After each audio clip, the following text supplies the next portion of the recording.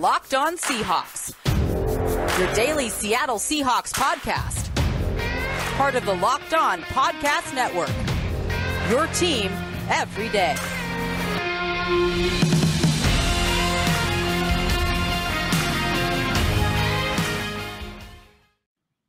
Greetings to all the 12s out there. It's Blue Friday here on Locked On Seahawks. I'm your host, Corbin Smith. Joining me for our Friday show, my co host, Nick Lee.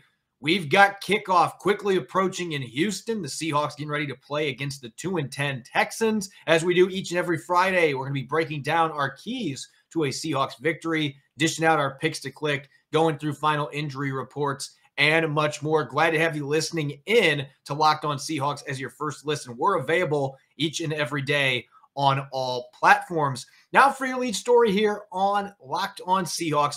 As of the time of this recording, we haven't gotten the final injury report for the Seahawks. We don't know which players are questionable, doubtful.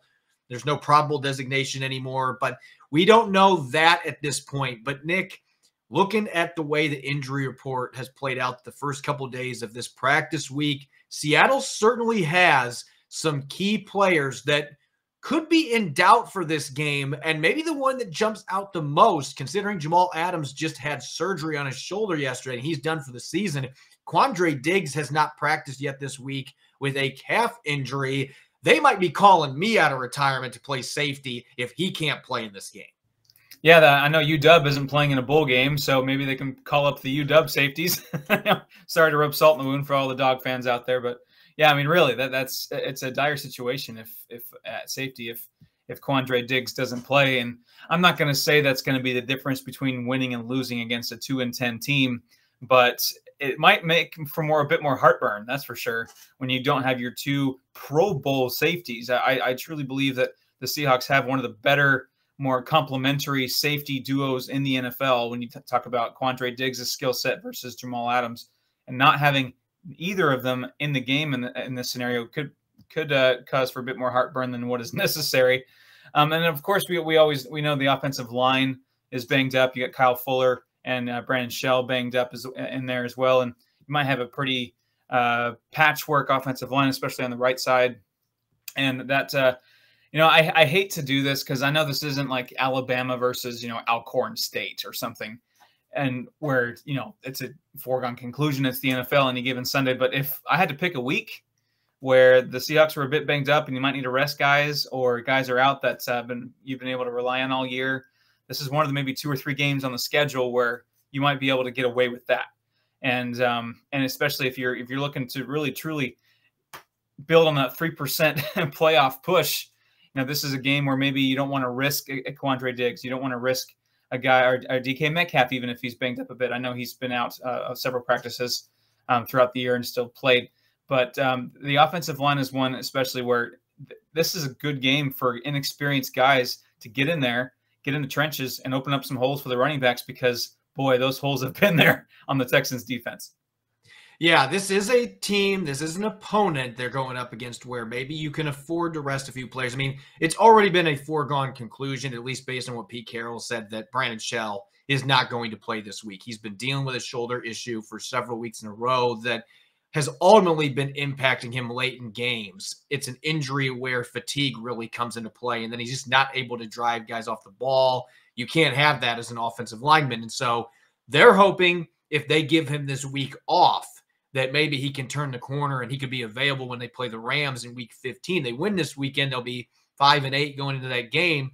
Two game winning streak, try to get some momentum going against their division rivals, maybe get the win on the road. They're going to need that win if they want to get to the playoffs. But uh, this would be a matchup where maybe you can get away with that. And that would mean Jake Curhan or St- uh, Stone Forsythe is going to be starting at right tackle. So you're going to have a rookie in the lineup if that ends up being the case that Shell's not playing.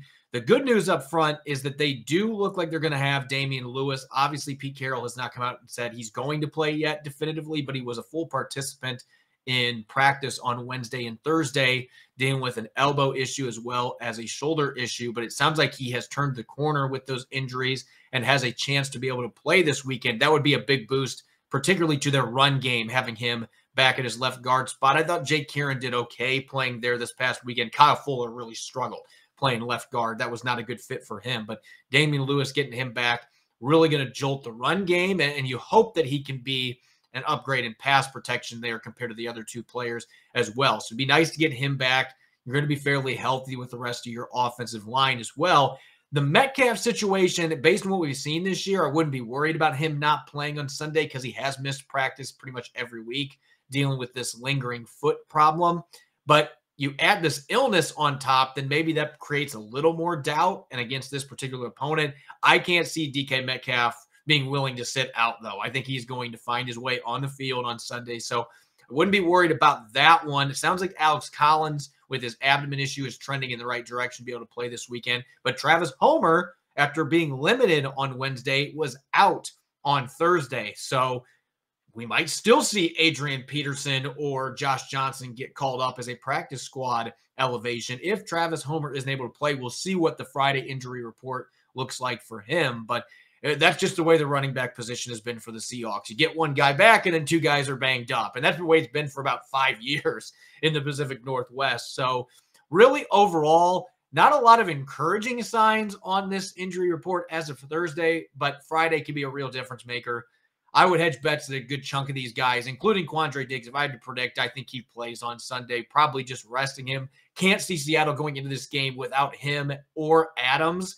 And they already lost Marquise Blair. Like I said, Ugo Amadi is probably your free safety in that case, but they seriously might be giving me a call and seeing if I'll sign a one day contract because they don't have any safeties on their practice squad. This is a team that has very little depth now at that position. So I think Diggs will play. I expect that Metcalf is going to play. Shell, I would expect, is not going to be out there. We'll see what happens with Travis Homer, but certainly some injuries to watch heading into this game. Another one to watch as well is Bryan Mone. I know the, the other side of the trenches there. He's been playing really well for the Seahawks this year. And I know they just signed Niles Scott to the practice squad. If I'm not mistaken, he's still there. Um, and maybe that is a, a hedge in case that uh, Bryan Mone can't go. You want to, a guy that has his own orbit in the middle of the, the defensive line. And it would be a bummer if, you know, the that uh, Bryan Mone can't play because if the Texans do have some sort of prayer, it would probably have to be in the trenches in the run game. But um, and if you you'd like all your horses in the stable, and certainly Bryan Mone is the, the biggest one in the stable. Yeah, he's a big guy, and he played really well last week before he got injured. He did come back into the game with a knee brace on and finish the game up against the 49ers, but has not practiced the first two days this week. We'll see where he's at on Friday. Another one that really truly feels like it's a 50 50 proposition based on what we know and, and what I've seen, of course, at the facility as well. We'll have to see what happens when this final injury report comes out here. Probably going to happen while we're recording the show, uh, but the Seahawks hopefully will have most of their key players that have been banged up available against the Texans on Sunday.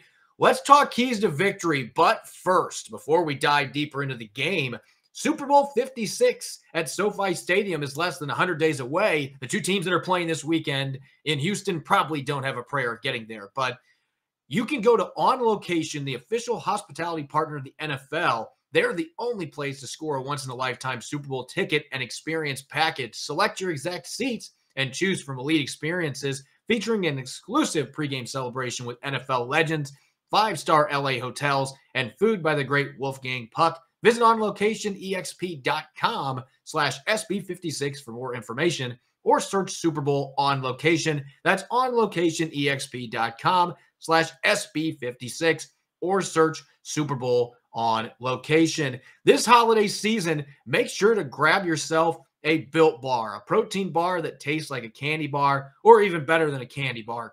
Built bar is filled with so much holiday goodness, rich with decadent flavor but it's low in calories, sugar, net carbs, fat. It's high in protein. So you're getting the best of both worlds, delicious and healthy. Ton of amazing flavors. I could go on and on about double chocolate, cookies and cream. My personal favorite, peanut butter brownie. I'll eat an entire box in one sitting. Not embarrassed to admit that. Built Bar gives you that extra fuel you need to bust down those mall doors and battle all the holiday shoppers. Or if you're just standing in endless shopping lines, Built Bar can give you something a little extra to keep you going. So throw one in your jacket or purse. You never know when you're going to need it. And if you're friends with Santa, well, make sure to tell Santa to throw a few Built Bars into those stockings with so many flavors, they'd make anyone's Christmas morning a happy one. Go to built.com and use the promo code LOCK15 this holiday season, and you'll get 15% off of your order. That's built.com with the promo code LOCK15. All right, Nick, we're heading into this week 14 matchup Seahawks at Texans, two teams with a combined six victories. So, not necessarily a pre Super Bowl matchup necessarily, but two teams that have not met expectations. I would at least say Seattle. Houston was going into this year. Everybody viewed this team as a dumpster fire with what they were dealing with with Deshaun Watson, a new coach, a new general manager, a bunch of other key players like JJ Watt no longer being in town. They truly are in the midst of an all out rebuild in Houston. So, this is a young team that's really struggled on both sides of the ball.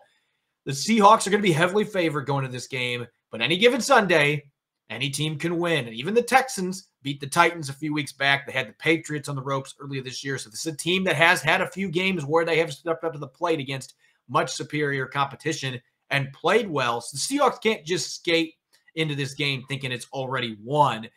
Looking at the offensive side of the ball, Nick, what are your keys for this Seahawks team to get their first two game winning streak? They haven't had a winning streak this year. How do they achieve that in Houston on the offensive side of the ball this weekend?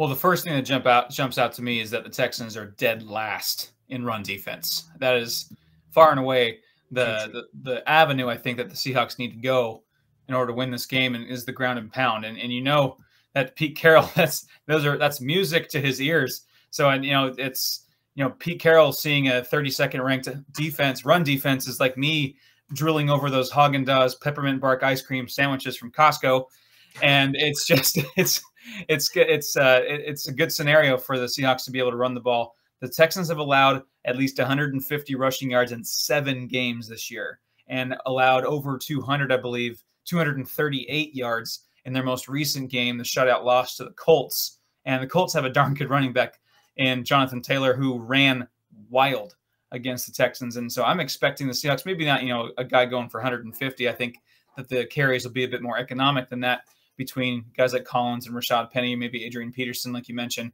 But however it happens, the Seahawks have an opportunity here to not just establish the run, dominate in the run game, which almost guarantees the Seahawks winning a game if the Seahawks can dominate on run offense if you can't run against this Texans defense, you have no business running against anybody. They've been that bad. A few of the games that I've watched, just poor gap integrity, the linebacker play. And now you just released one of your best linebackers because he's had issues in the locker room. But losing Zach Cunningham is a big talent drop off for the Texans at linebacker. So they've got some major issues up in the front seven. They got a few players on their defensive line, but stopping the run has been a major problem among many other problems. I would make an argument, aside from the pass protection and offense, that that's been the biggest issue they've had all year. They just cannot stop other teams from running the ball, and they fall behind, and then teams just keep churning it on the ground. So Seattle should be able to do that, and that leads into my second key. And again, some of these are always going to seem like, well, you could say this every week, but this week especially –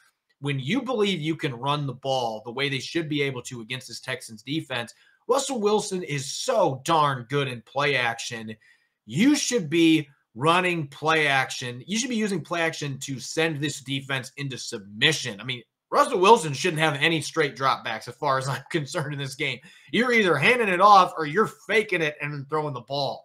It needs to be a heavy priority in this game to run play action because this is a very aggressive secondary for Lovie Smith's defense. They've got 14 interceptions this year, 18 turnovers. So they will create turnovers, but they've also given up nine pass plays of 40 plus yards. So it's truly a feast or famine defense. If you're running the ball well and you get that play action game going, those corners and safeties are going to bite and they are going to get burned, especially if DK Metcalf's playing in this game. D. Eskridge finally starting to come into his own. Tyler Lockett, we know how reliable he is. Gerald Everett, he's not going to play like he did last week ever again.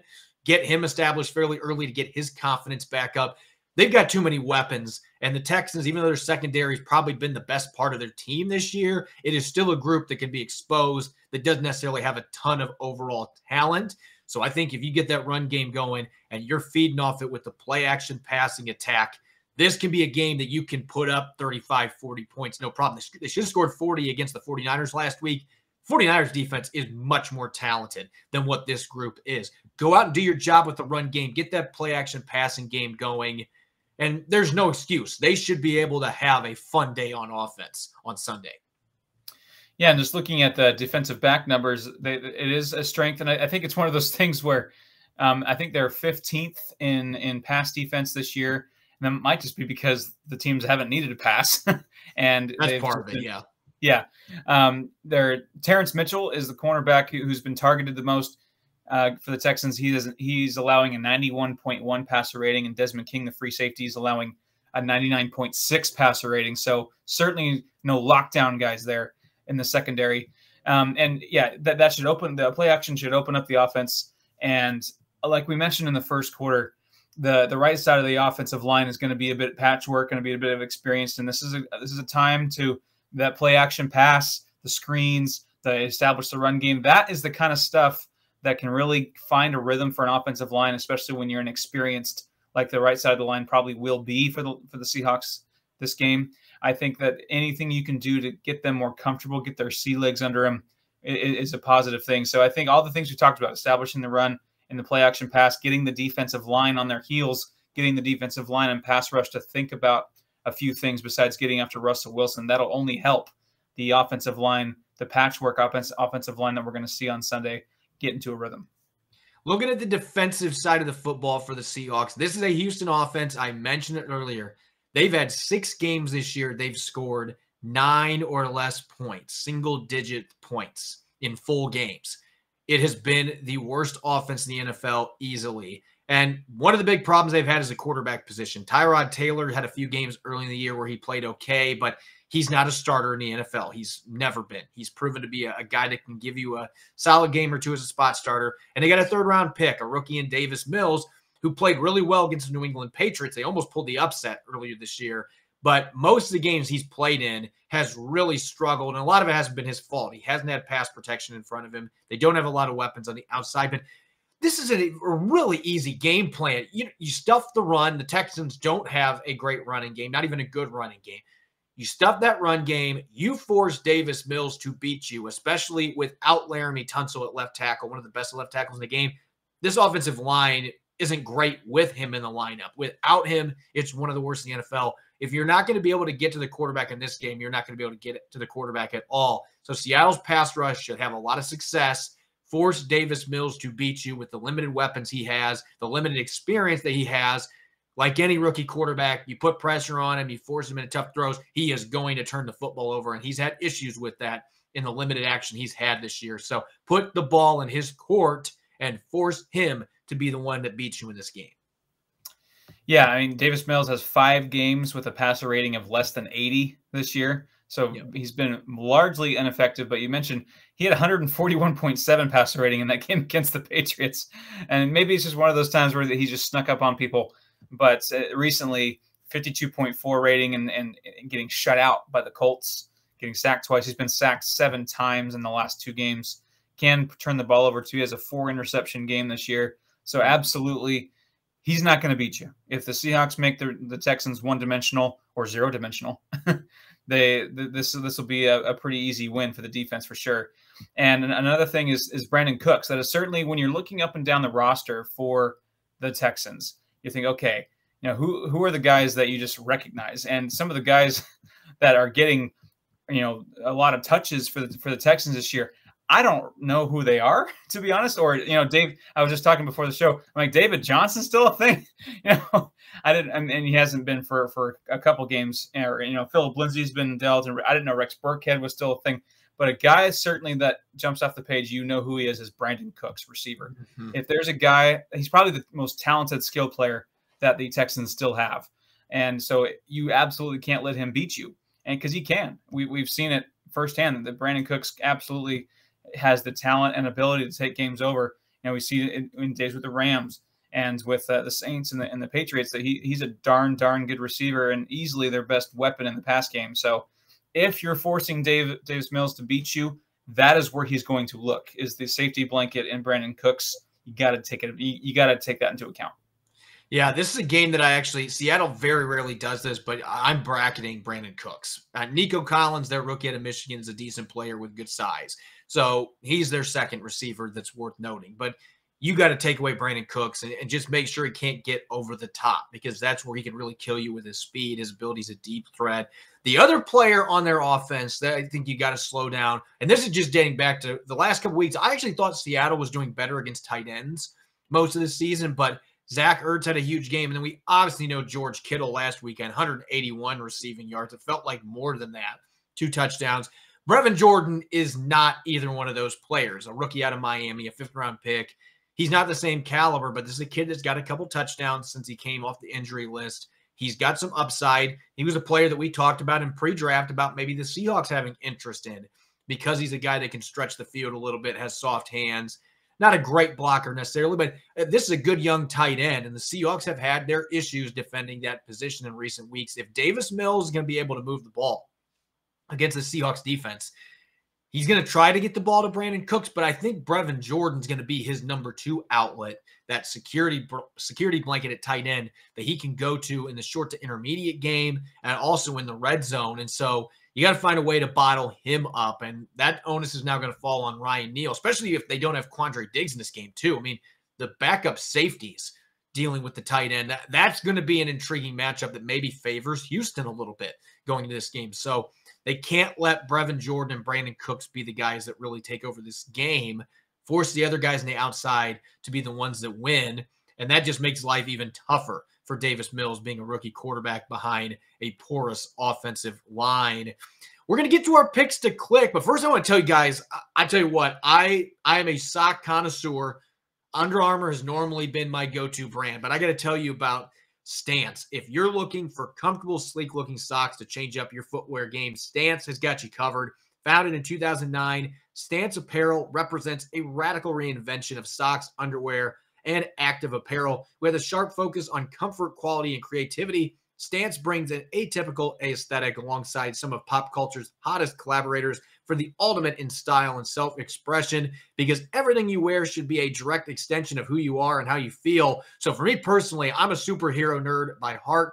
I have two pairs of Star Wars and Batman designs coupled with amazing designs that match my personality and catch the attention of friends and family. They feel like you're wearing clouds on your feet. They're top notch quality. I've worn both my pairs a bunch and they've shown minimal signs of wear and tear too, which has always been a problem with my big feet. Stance believes that the perfect fit matters more than fitting in, that those who feel good do good. So go see for yourself with Stance. Register for an account at stance.com and get 15% off your first purchase. Use the promo code locked on at checkout to apply. Enjoy the color and comfort of a life less ordinary with Stance. All right, week 14. It's it's so weird saying that. You normally I would say it's weird it's week 14, but this is a season that has felt like it has taken forever to to get going because the Seahawks have not been good. I'm sure that goes with all fan bases. I mean, Texans fans are probably like, can the season just end? And that's the feeling that comes with not being a good team. And the Seahawks, obviously at four and eight, have been dealing with the same emotions. The fan base has been fatigued by how disappointing this season has gone. But the playoffs are still within reach for at least one of these teams. At 2 and 10, the Texans, they're out of it. But the Seahawks at 4 and 8, they still mathematically are alive. As Lloyd Christmas likes to say, you're saying there's a chance. The Seahawks certainly still have one. They just have no margin for error. So let's talk picks to click. Seahawks going up against the Texans on the road here in week 14.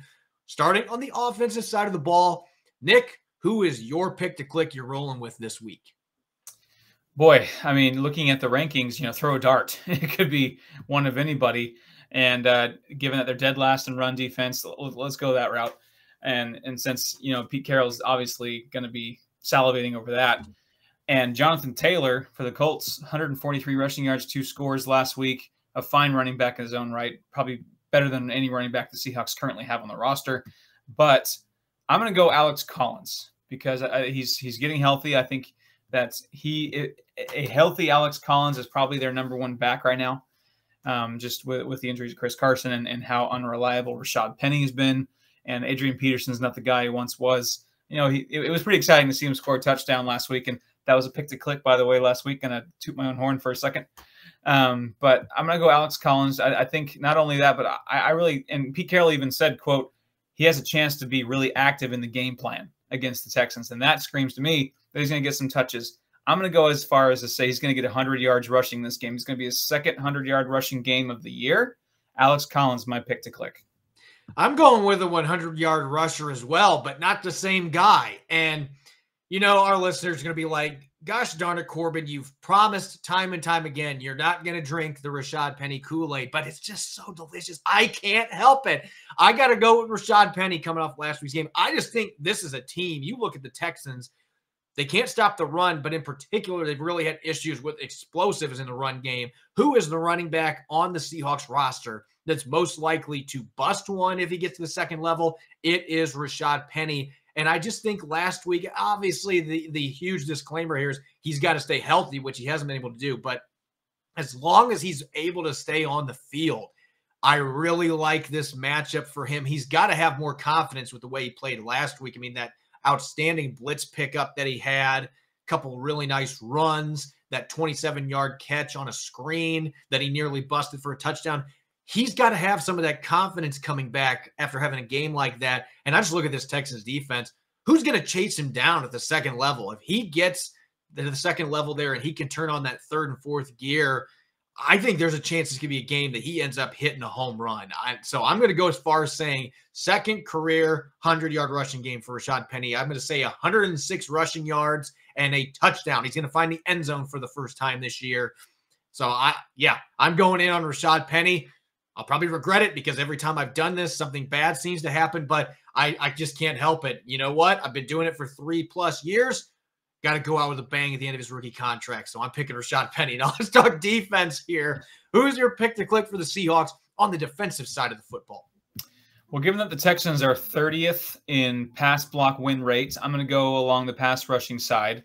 And Darrell Taylor has one sack and just just one sack in his last six games after having a pretty strong start to the year. Kind of been in a lull. I'm not going to say he's been in a slump because he's still played pretty well. Um, but as far as the sacks goes, it, it, it's dried up a little bit. He had that one sack against the Washington football team. I'm gonna I'm gonna go ahead and say that Darrell Taylor gets in there and harasses Davis Mills to the tune of it more than 1.0 sacks. So let's say 1.5 sacks, two whole sacks, however that goes. I think Darrell Taylor has his first multi-sack game of the season and thus his career, and and mm-hmm. and starts to cap off a very solid, you know, pseudo rookie season. I was gonna go with another pass rusher, but I have changed my mind. I'm gonna, you know, I'm gonna throw out an audible here because I think they're gonna be able to get pressure on Davis Mills with a wide variety of rushers. I think they're going to be able to get it done from the interior as well. And I think the young quarterback is going to try to force the issue getting the ball to Brandin Cooks. And so my pick to click, I'm going to toot my horn here. I picked Quandre Diggs last week. He got an interception. I'm going for some luck in the secondary for a second straight week. Sidney Jones got ripped off against Arizona. He should have had his first interception. Well, he's going to get some redemption. He's going to get not one, but two picks against Davis Mills in this game. I think Mills is going to try to force the issue try to squeeze the ball into his one true stud receiver. And I think Sidney Jones is going to make him pay for rookie mistakes. So, not one, two interceptions for Sidney Jones, defensive player of the game. Really bold, probably not going to happen, but you know what? I've had no luck for the most part with predictions this year. So, go big or go home. Two picks for Sidney Jones. Real quick, Nick, I've had a chance to dish out my prediction for this week's game on a crossover episode. How do you see this this game playing out here in Houston? Well, I've kind of thought it in two veins. One, I, I haven't felt as confident about a Seahawks game all season, maybe besides the Jaguars game. I would argue that the Jaguars are a bit better than the Texans are, at least this point in the season. Um, the Texans are really bad. They're, they're, they're not only bad, but they're dysfunctional. And the Seahawks, the Seahawks should be able to run the ball well. Russell Wilson can carve them up when needed. Six, the Seahawks are sixth in red zone offense. Texans are 21st in red zone defense. They should be able to take advantage of, of any and all weaknesses that the Texans have. The Texans are dead last in just about any offensive category you can think of, or next to dead last. And naturally, it's going to be a 45 40 overtime. um, I'm going to go uh, Seahawks win this game 30 to 13. And, you know, it's, I think that the, the Texans get some weird, wonky points in there. And, of course, Seahawks Twitter will start getting heartburn, but I think it's a good, solid multi-score victory. So naturally, they're going to win 30 to 29 on a last second field goal. we talked about that before the show. That's that's typically how games like this end up playing out. It'd be nice to see the Seahawks go out and get a blowout because they could have had one last week if they would have been able to finish when they were in the could be their Jets zone. game too from last year. Yeah, uh, that's the last time that we've really seen them go out. I mean, the, the Jaguars game they had a blowout, but uh, it's really been a long time since Russell Wilson was under center, and we've seen them blow somebody out. This feels like a game that's ripe for that, but you got to go out and you got to play between the lines. It isn't just going to happen by showing up. And so the Seahawks have to be able to do that. You would think at four and eight, that would not be an issue. There should be a lot of urgency for this football team. As always, thanks for making Locked On Seahawks your first listen every day. Now make sure to make your second listen to Locked On Bets podcast your daily one stop shop for all your gambling needs. Locked On Bets is hosted by your boy Q with expert analysis and insight from Lee Sterling. You can follow me on Twitter at Corbin Smith NFL. You can follow Nick at Nick Lee 51. You can check out Locked On Seahawks on Apple Podcasts, Google Podcasts, Spotify, and the Odyssey app. When I return on Monday, I'll be rejoined by my co host, Rob Rang. Hopefully, we'll be celebrating a second straight victory Monday, breaking down a victory over the Texans. But regardless of the outcome. We'll be sharing our takeaways from Sunday's Week 14 contest in Houston. Enjoy your weekend. Enjoy the game. Go Hawks.